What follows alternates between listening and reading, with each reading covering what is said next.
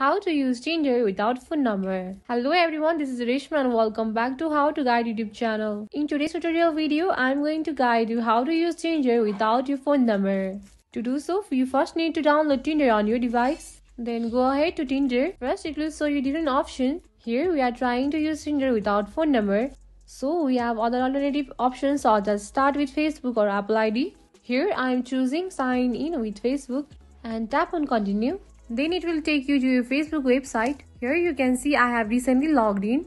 For next step, what you have to do is click on continue as your name and you will be logged in in Tinder and that is how you can easily use Tinder without your phone number. And this was it for this video. If you have any doubt or queries related to this topic, you can simply ask us in the comment section. I hope you found the tutorial video informative and easy. Then do not forget to like, share and subscribe our channel. And also press the notification bell so you won't be missing any update from us. Meet you in the next video. Till then, stay tuned.